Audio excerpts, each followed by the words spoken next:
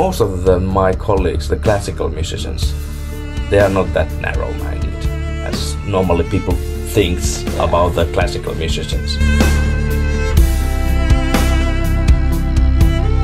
Uh, if you just drink booze for 10 days on a row and uh, you don't take care of yourself, don't sleep enough and don't make any sports, you start to feel really bad mentally and uh, tired and everything is like, ugh.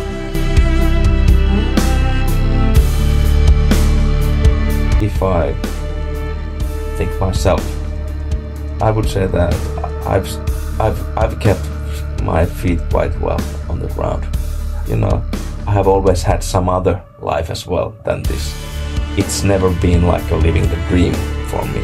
It's been like a challenge, and, and uh, let's see, step by step, what's what's life bringing to you. Basically, we didn't have an aim to base Apocalyptica.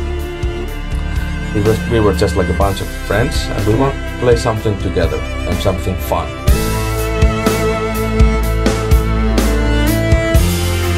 Music is just like a kind of language which transforms the, the moods from people.